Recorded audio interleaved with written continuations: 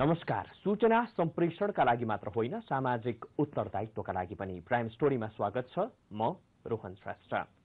यस पटकको बर्खामा मुलुकभर बाढी र पहिरोले धेरैको ज्यान लियो। हजारौंको उठिवास गरायो बाढीले गाउँका गाउँ चुर्लुममा डुबाउँदा सबैको ध्यान प्रकृतिको त्यो निर्ममतामा टक्क आएको बाढी अहिले गइसक्यो। बाढीको कहाली लाग्दो ध्वंस हेर्न प्रभावित क्षेत्र नै पुग्नुपर्छ। यसपटक हामी प्रकृतिको विध्वंस समेट्न बर्दिया पुग्यौं। पीड़ितहरूको बेहाल राज्यविहीनताको स्थिति हामीले महसुस गर्यौं। काठमाडौँमा संकलन गरेको लत्ता कपडा र रकम सहित हामी बर्दिया हानिएका थियौँ बुधबार अपरान्न काठमाडौँबाट बर्दिया लागेका हामी बिहिबार झिसमिसेमा बाँकेको शमशेरगञ्ज पुग्यौं। शमशेरगञ्जमा पुल भाँसिएको थियो। भाँसिएको पुलबाट यात्रा सम्भव थिएन। त्यसैले राप्ती नदीमा हिउँ पाइप राखेर डाइभर्सन बनाइएको थियो। डाइभर्सनमा मालवाहक ट्रक भाँसिएको रहेछ। पाँच घण्टादेखि सोही ट्रकका कारण महेन्द्र राजमार्गमा यातायात अवरुद्ध थियो। नजिकै सशस्त्र प्रहरीको एक जत्था शारीरिक अभ्यास गरिरहेको थियो। यात्रु अलपत्र थिए। ट्रक हटाउन सरकारी संयन्त्रको चासो देखिएन। हामीले गृह सचिव सुरेश सिलवाललाई स्थितिको जानकारी गरायौं। उनले केही बेरमा हामीलाई सम्पर्क गरे। पन्ध्र मिनटमा बाटो खुलाउने आश्वासन दिए। उनले भनेको झण्डै एक घण्टापछि बाटो खुल्यो। एउटा ट्रकको अवरोध छिचोल्न गृह सचिवलाई हारगुहार गर्नुपर्ने राज्य संयन्त्र प्रति यात्रुहरू अवाक थिए। बर्दिया पुग्यौं। बाढीले निम्त्याएको बर्बादी सडकमै देखियो। गुलरिया नजिकै रहेको नौलाखे पुल बाढीको कारण भाँचिएको थियो। नाइट बस त्यही रोकियो। खेतको बाटो पनि रातभरिको वर्षाको कारण हिलाम्मै रहेछ। काठमाडौँबाट लगेको लत्ता कपडा ट्रकमा लोड गरेर हामी पदनाहा हुइक्यौं। बाढीले विध्वंस मचाएको क्षेत्रमध्ये एक गाविस हो पदनाहा। बर्दियाको सदरमुकाम गुल्लरिया लगायतका अधिकांश ठाउँ सर्लक्कै निलुला झैँ गरी माथिएको बबैको असली रूप कुसुम घाटमा देख्न पायौं। नदीले मोड लिएको स्थान पहिले देखिन्न थियो। अहिले घुम्ती प्रष्ट देखिने गरी नदीले जमिन काटेको छ। सञ्चालनमा आएको उन्तिस दिनमै झोलुङ्गे पुलको अवशेष मात्र बाँकी छ। झोलुङ्गे पुलको एकातिरको खम्बा सुतेको छ। पदनाह र सदरमुकाम बर्दिया तथा नजिकैको बजार सानो श्रीलाई जोड्ने पुरानै माध्यम डुङ्गा पुनः सञ्चालनमा आएको छ। यो कुसुम्बा घाट हो। यो घाट हुँदै हामी बाढीले अति प्रभावित बनाएको क्षेत्र पुग्दैछौँ। पदनाहा त्यसै गरी बनियाभार लगायतका क्षेत्रहरू अति प्रभावित क्षेत्र हुन् बाढीका कारणले गर्दा। ती ठाउँहरूसम्म पुग्नका लागि यातायातको पर्याप्त सुविधा छैन। डुङ्गा नै एकमात्र सुविधा बनेको छ तर त्यो पनि अत्यन्त कष्टकर बनेको छ। झन्डै एक किलोमिटर यात्रा गरिसकेपछि पैदल यात्रा गरिसके जङ्गल हुँदै हुँदै हामी यहाँ आइपुगेका छौँ र यो घाट पनि तहस नहस बनेको छ। ढुङ्गा चल्नका लागि आफ्नै किसिमको घाट हुने गर्दछ। त्यो घाट अहिले यहाँ हामी देख्न सक्दैनौँ। जेन तेन मानिसहरू ढुङ्गामा पुग्ने स्थिति छ। राज्य पुगेको छैन। मानिसहरू जेन तेन ढुङ्गाको माध्यमबाट बाढी पीडित क्षेत्रहरूमा पुगिरहेका छन् जसोतसो जीवन गुजार्न मानिसहरू बाध्य छन्। उनीहरू राज्यको पर्खाइमा रहेको हामीले बुझेका छौँ। थप दृश्य हामी त्यहाँ पुगेपछि देखाउनेछौँ। घाटको स्वरूप नै बिग्रिएको छ। डुङ्गामा चढ्नका लागि हम्मे हम्मे पर्दछ। ज्यान जोखिममा छ भन्ने बुझेरै डुङ्गा चढ्नु पर्दछ। चढ्नुको विकल्प छैन। डुङ्गा पल्टियो भने पौडिन जान्नेले मात्रै ज्यान जोगाउन सक्छन्। डुङ्गा तरेपछि लत्ता कपडा रानीपुरका अगुवाहरूको जिम्मा लगाएर हामी गाउँतिर हानियौँ। सामुदायिक वन हुँदै गाउँतर्फ जति गयो उति बढी पीडा नजिकिँदै गयो। घरका ठाउँमा त्रिपालका टेन्ट थिए। कतिपय ठाउँमा घरको नामो निशान देखिँदैन थियो। मानिसहरू भत्किएको घरका भग्नावशेष खोतलिरहेका थिए। कोही घरको पुननिर्माणमा पनि व्यस्त देखिन्थे। पदनाहमा अक्सर सञ्चार माध्यम पुग्दैनन्। हिमालय टेलिभिजनको क्यामेरा देखेपछि मानिसहरू उत्सुक देखिन्थे। आफ्नो पीडा सारा संसारले देख्ने र सहयोग थपिने उनीहरूको आशा थियो। रानीपुरकी अष्टुर्नी थारूको भाव यसै भन्थ्यो। घर गुमाएकी पाँच छोरीकी आमा अष्टुर्नी आफ्ना छोरी देखाउँदै पीडाको पहाड पोख्न थालिन्। मोर तो एक लुग्गा ना हो ना कहली वो एक ठो मैक्सी ले जाऊँ भौजी कर ई हीरो एक टाक डोरा ना हो खैना बनैना ना हो ना साव हो ई रो ई गाँव में से अटके के पैठे के एक दो बीस किलो तो कई कई पास खाब आपको तो कुछ हो ना कम समस्या बा पानी आज तो हेरो ना अब ऐसी नी झोपड़ी बनैला थी अब झलक जाए तो दब जबाओ वहाँ भक्ति स्कूली में हम अब लड़कन के ना कापी हो ना कलम हो कैसे पढ़ेगी कुछ जोगाड़ नहीं सकलो कैसे जगा ले एक बच्चे तीन चार बजे लग उठिए दुकुल बात करे कि तू बदली में देखो अब मैं तो कहूँ कि कि पानी आई था अब एक घटी ठेल पठन गिनु अब त्यो रहली त्यो मने कहे लगने बहे आ गिल बहे आ गिल पीडा रातमा झनै थपिने गर्दछ बाढीका कारण लामखुट्टेको सक्रियता बढेको छ सर्पको सलबलाहाट यस्तो बेला झनै बढ्ने गर्दछ उखर गर्मी उस्तै छ अधिकांश घरमा बिजुली बत्तीको लाइन काटिएको छ मानिसहरू तिरपाल मुनि जसो तसो सुतेका भेटिन्छन् हामीले लौटन थारूलाई भेट्यौं। उनको मिल थियो मिल बाढीले बगायो। मिललाई व्यवस्थित गर्न ऋणमा लिएको पचास हजार पनि बाढीले बगाएछ। बाढीको वज्रपात खेपेका लौटनले आफ्नो पीडा यसरी सुनाए। मैले ऋण निकालेको थिएँ। ऋण निकालेको पैसा पनि त्यो मैले झोलामा राखेको थिएँ घर त जान्न भनेर। कति निकाल्नु भएको थियो ऋण? मैले पचास हजार हो हजुर। एक ठाउँबाट चालिस हजार हो।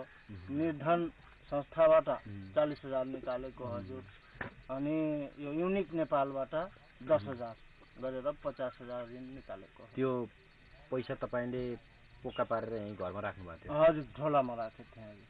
त्यो पैसा त्यो झोला मैले अब घर चाहिँ जान्न कि भनेर मैले सोचेको थिएँ। अनि त्यही चाहिँ झोला लौटनका छिमेकी सुरेश आठ वर्षका भए। आफ्नो घरमा बाढी पसेपछि उनी बाँच्नका लागि छिमेकी दिल्लीराज पौडेलको घरतर्फ दौडिए। उच्चो ठाउँमा रहेको पौडेलको घर पनि एकैछिनमा डुब्यो। बाँच्नका लागि उनी पौडेलको परिवारसँगै अग्लो खेतबारीतिर दौडिए। झन्डै दस घन्टा उनी पानीमा रुख समातेर बसे।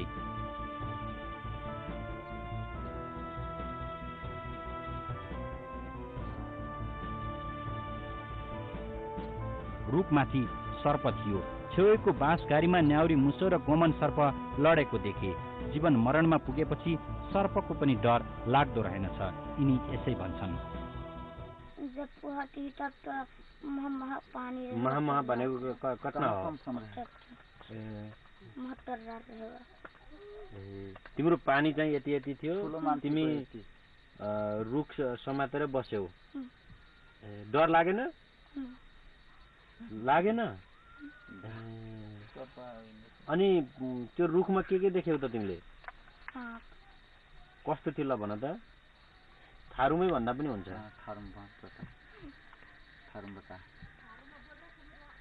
हमला सब पर है धमला सबको रहे। और कौन कौन रहा आओ लिखा हम्म। टोकनी कौन तप हो नवरिया से लड़ता है। हमला सब पर नेवरे से लड़ी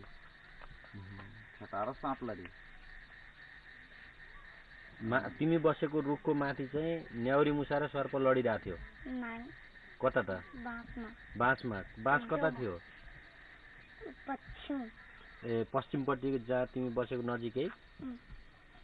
सर्प र न्याउरी मुसा लडिरहेको थियो। अनि तिमी बसेको रुखमाथि?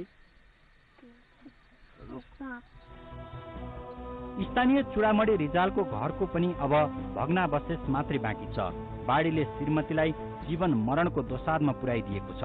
उनको उपचार चितवन भरतपुरमा भइरहेको छ। सेनाले उद्धार नगरेको भए ज्यानै जाने अवस्था रहेछ।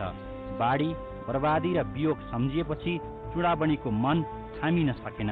उनी भक्कानिए। हजुर कहिले कहिले गाउँले दिएछ सरकारले त हेर्न पनि आएको छैन हजुर।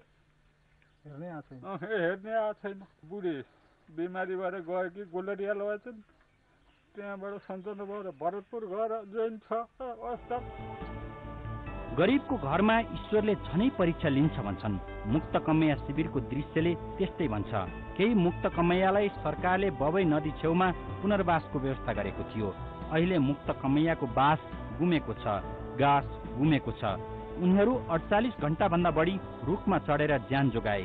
ती रुखका टुप्पातिर पनि सर्पहरू गुडुल्किएका थिए। शरणको मरण सर्पले पनि गर्दो रहेनछ। उनीहरूलाई सम्झँदै डर लाग्छ। सरकार त हामी चाहिँ अब सबभन्दा त हाम्रो घरकै समस्या छ। घर छैन बसोबास छैन बसोबास दिए पनि यस्तो ठाउँमा बसोबास दिएछ। अब घर राम्रो भएपछि अलि बारी पहिरोबाट डर छैन त्यस्तो। अब हामी त खरको बिटा बाँधेर बस्छौँ बाढी आउँछ एकैचोटि बगाएर लग्छ। अब यतिखेर हाम्रो यो रासनैको समस्या छ खाने चामलै छैन। बाढीले विनाश निम्ताएर गएको छ फेरि पनि बाढी आउने त्रास कायमै छ। बचेका घरमा पनि बाढीले माटो जम्मा गरिदिएको छ अन्न उम्रिएर जमरा जस्तो बनेको छ। भिजेको अन्न लत्ता कपडा हिलो र मरेका पशुपन्छीका कारण वातावरण दुर्गन्धमय छ। महामारी फैलने जोखिम उच्च छ। धेरै जसोको अब घर भन्ने छैन। भएकाहरूलाई पनि मर्मत सम्मार गर्ने चटारो छ। विद्यालय भवनको समेत बेहाल छ खासमा बर्दियाकै बेहाल छ। बबई उर्लेर गाउँ पस्दा स्थानीयले ज्यान जोगाउने बाहेक केही सोच्न सकेनन्। बाढीबाट त ज्यान जोगियो तर ज्यानको सुरक्षाको ग्यारेन्टी अझै छैन। हिजो बाढीले ज्यान लैजाला भन्ने त्रास थियो अहिले पेट भर्न नपाएर ज्यान जाने हो कि भन्ने चिन्ता छ। भखारीमा धान छैन लगाउने कपडा छैन जिन्दगानी त्रिपाल मुनि खुम्चिएको छ। पीडितहरू कुनै राज्यका नागरिक हुन् कि आदिम कालका मानव छुट्याउन मुस्किल छ। संकटमा परेको बेला राज्यको भूमिका प्रभावकारी हुनुपर्छ। प्रभावित क्षेत्रमा पीडितहरूको पीर मर्का सुनिदिने राज्य संयन्त्रको उपस्थिति हामीले देख्न पाएनौं। यसै विषयमा थप प्रसङ्ग जोड्नेछौ तर यो ब्रेकपछि।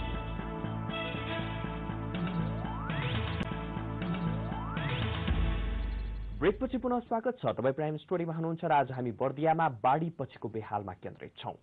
बर्दियामा बाढीले कति क्षति पुर्यायो भन्ने यकिन छैन। बबई नदी फेरि पनि गाउँ पस्दैन भन्ने ग्यारेन्टी पनि छैन। सरकारले भूमिहीनहरूलाई नदी किनारमा राखिदिएको थियो। नदीमा तटबन्ध भने थिएन। बनाउने ठोस योजना पनि सुनिएको छैन। कुन बेला बबईमा पानीको सतह बढ्छ र कति बेला गाउँमा धावा बोल्छ ठेगान छैन। नदी आसपासका क्षेत्र जहिले पनि बाढीको जोखिममै हुन्छन्। सरकारी विज्ञहरूलाई यस्ता कुराको ज्ञान नभएको पनि होइन। राज्यले नदी किनारमा बसोबास नगर्न भन्दैन बसोबासका क्षेत्र पनि तोक्दैन नागरिकको ज्यान जोगाउने कुनै योजना पनि बनाउँदैन। यो हेरौँ।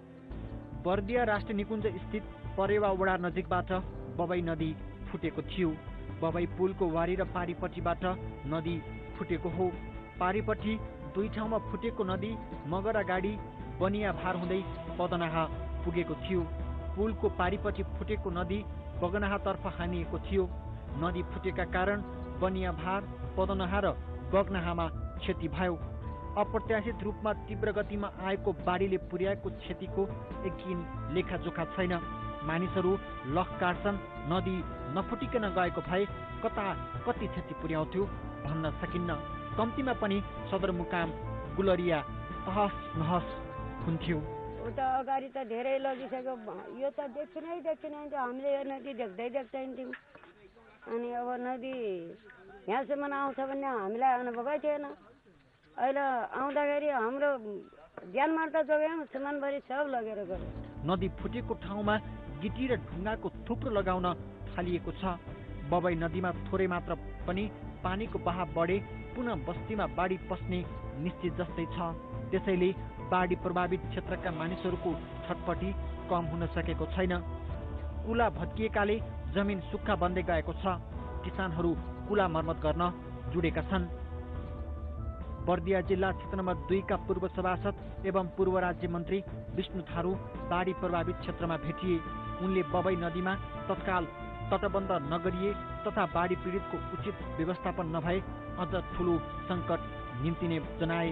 अब राज्यको कुरा गर्दाखेरि वास्तवमा राज्य त्यति संवेदनशील हुन सकिरहेको स्थिति चाहिँ पाइरहेका छैनौँ हामीले।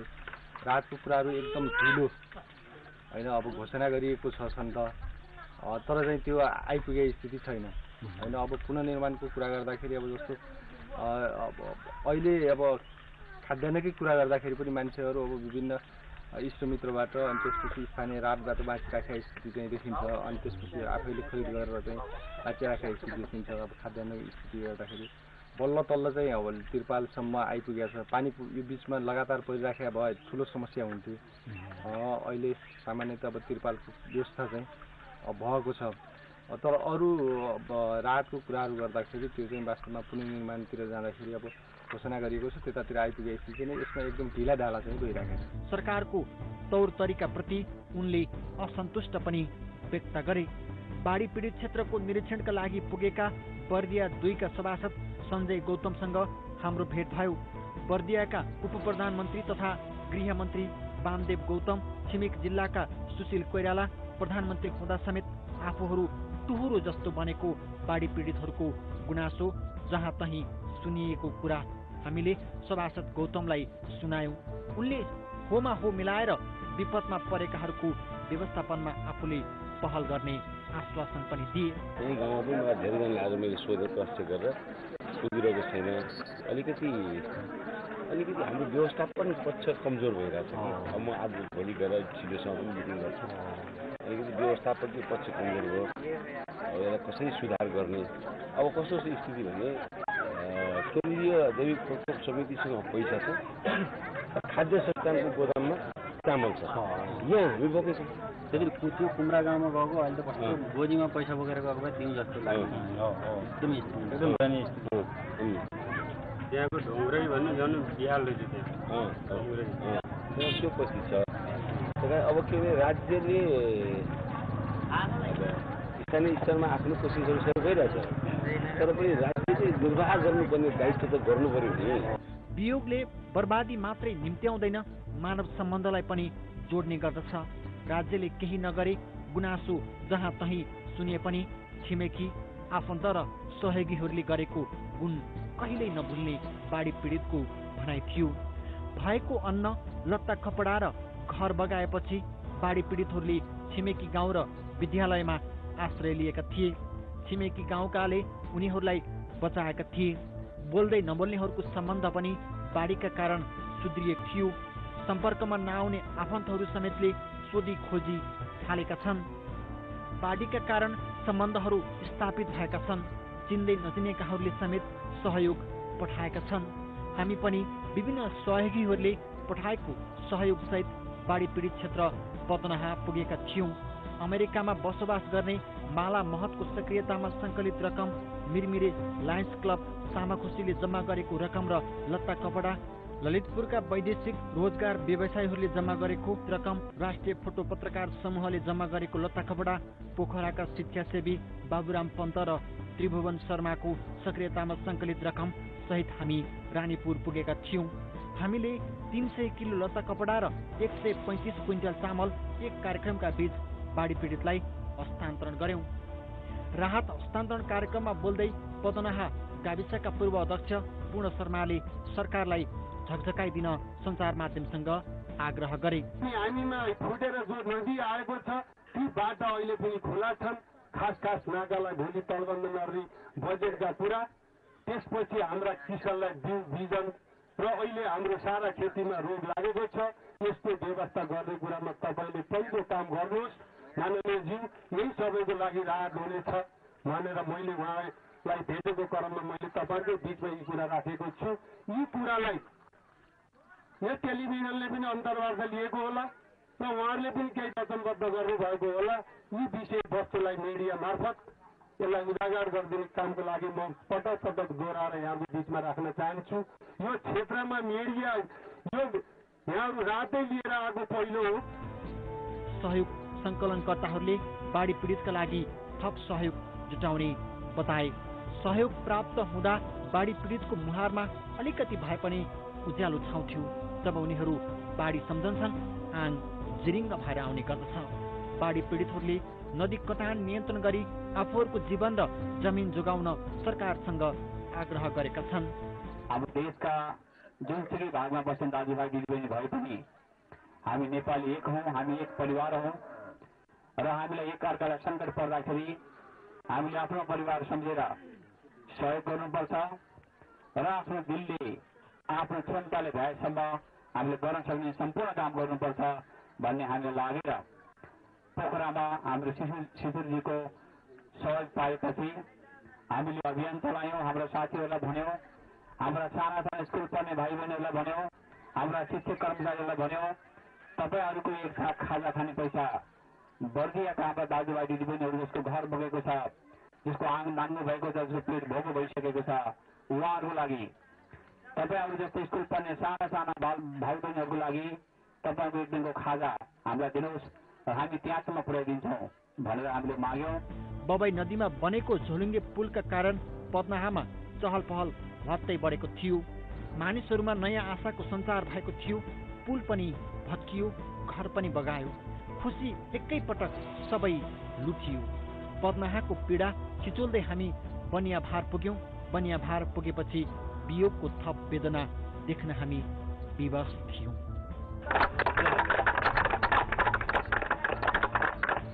हाम्रो मुलुकमा बाढीले वर्षेनी ठूलो जनधनको क्षति गर्छ। यसपटक मात्रै बाढी पहिरोको पीडा भोग्नु परेको वा सुन्नु परेको होइन। बाढी पहिरो ठ्याम्मै रोक्न सकिन्न त्यो सबैलाई थाहा छ। तर यस्ता प्राकृतिक विपदमा क्षति न्यूनीकरण गर्ने उपाय भने अपनाउन सकिन्छ। नदी किनारमा बलिया तटबन्ध मात्रै बनाउने हो भने नदीले खेती योग्य जमिन कटान गर्न पाउँदैन। मानव बस्तीमा पसेर वितण्डा मचाउन पनि सक्दैन। बाढीले घर बगाउँदा अर्को बनाउन सकिएला तर खेती योग्य जमिन बगाएपछि त्यहाँ फेरि अन्न उब्जाउन सकिन्न। किसानको प्राण जोगाउने भूमि जोगाउन सरकारले के उपाय गर्ला आगामी दिनमा? बर्दियाको पदनाहा गाविसमा बाढीले सृजना गरेको बवण्डर आज हामीले प्रस्तुत गर्यौं। यस्तै हालत अन्य गाविसमा पनि छ। ती क्षेत्रको पीडा पनि क्रमशः देखाउँछौ। नेपालगञ्ज सहकर्मी सुरेश रजौलेलाई धन्यवाद। दर्शकवृन्द सामाजिक उत्तरदायित्व सहितको पत्रकारितामा हामी निरन्तर समर्पित रहिरहनेछौँ। प्राइम स्टोरीबाट विदा हुन चाहन्छौ। नमस्ते।